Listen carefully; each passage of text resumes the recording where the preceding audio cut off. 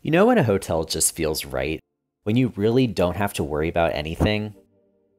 That's exactly how I felt during my recent stay at the Hotel Zachary. This is a Marriott Tribute Collection hotel, which is located in the Wrigleyville neighborhood of Chicago's North Side, right across the street from Wrigley Field. Whether you're in town to attend a Chicago Cubs baseball game, experience the lake, or the city's diverse food scene, this hotel is a fantastic retreat. Hi, I'm Michael. Join me for a stay at the Hotel Zachary. I had such a relaxing stay at this hotel in the heart of the Windy City.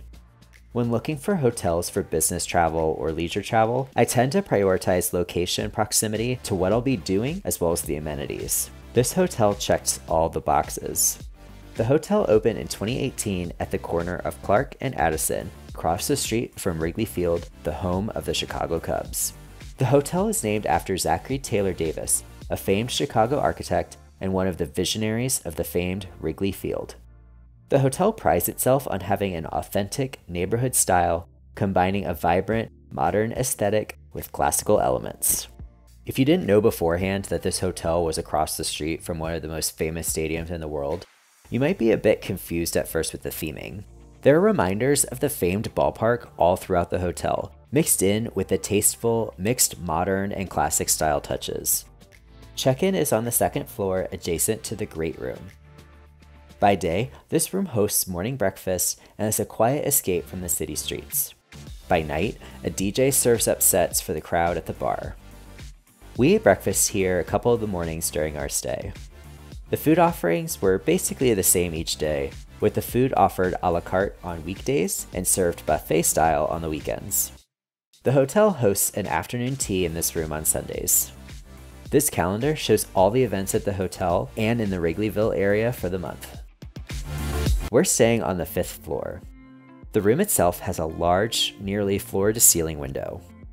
This room faced west, so I didn't get to have the stadium view. However, being on the back of the building, I'm sure cut down on the street noise because we couldn't hear really anything from the outside. There's plenty of storage and space for us to not feel overcrowded.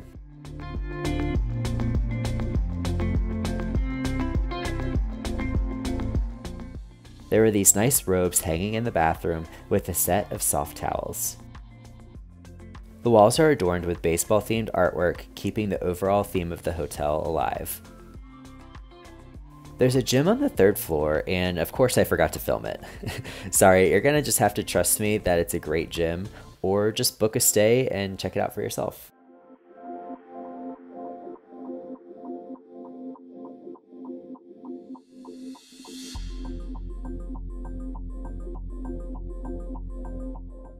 The ground floor of the hotel has quite a few restaurants and fast food joints, which cater mostly to the baseball game foot traffic. Check out my Chicago playlist for where you should actually go eat. I stopped into a coffee shop and bakery on the first floor, which has free hot coffee if you show your room key. These cake pops were so rich and chocolatey. They're so good, I really want to go back and get some more. This may be the most dog-friendly hotel I've ever stayed at. There's no pet fee for the stay, and the hotel provides a welcome bag for your dog. The welcome bag came with a ball, large treat, and a blue bandana with the print of Wrigley Field. The waiver you sign at check-in indicates that well-behaved dogs can stay in the room alone. However, you must return to the hotel promptly if there are noise complaints. There weren't too many trash cans on the sidewalks outside, so just be mindful when planning your dog's walking route.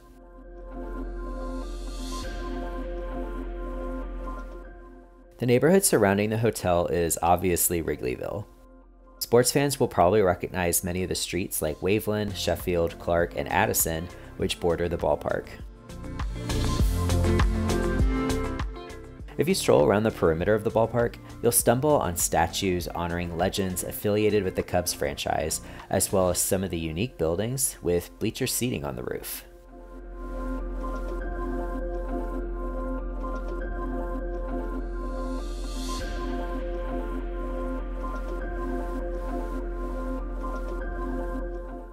You can enjoy a free event like summer movie nights on Wednesdays in the Gallagher Way Entertainment Complex, while having a burger from Small Cheval. Nearby is the rest of Lakeview, including the Southport Corridor, as well as the Boys Town neighborhood on North Halsted. And of course, there's Lake Michigan and all its beauty just to the east. To see more of the city, I'd recommend the tours at Bobby's Bikes and Hikes. We signed up for the four hour long Bikes, Bites, and Brews tour of the north side of Chicago. This tour is offered twice daily in the late morning and again in the late afternoon. We signed up for the 1130 tour, which starts in the Streeterville neighborhood downtown. For about $100 a person, including fees, you can bike 13 miles around the Gold Coast, Lincoln Park, and Lakeview neighborhoods, sampling pizza, cupcakes, Chicago dogs, and beer along the way. Our guide, Lizzie, was fantastic as she guided us through the streets and shared interesting stories and facts along the way.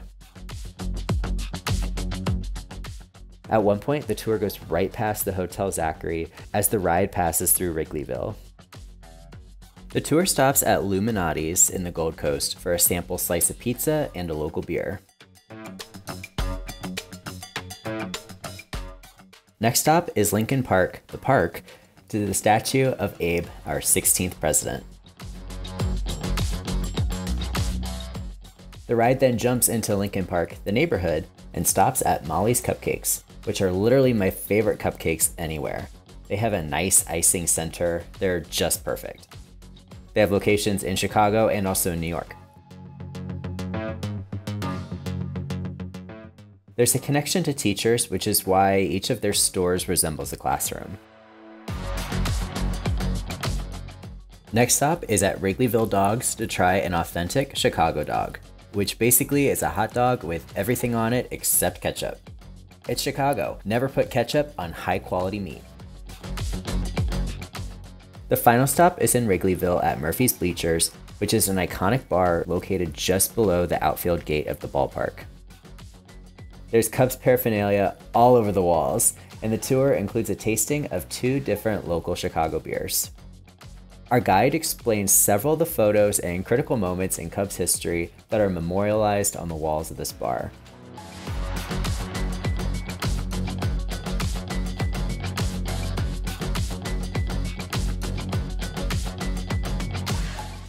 There were several opportunities for pictures, including the finale ride down the lakefront path back to the bike shop in Streeterville. Our guide offered to take everyone's photo in front of the Wrigley sign and again along Lake Michigan with the dramatic backdrop of the skyline. I loved the vibe of this hotel. The neighborhood location was a refreshing change from the crowded River North and Loop hotel districts. Would you stay at this hotel? Would you do this bike tour? Let me know your thoughts down below in the comments. Subscribe to my channel for more city guides and hotel reviews, and check out one of these recommended videos popping up next.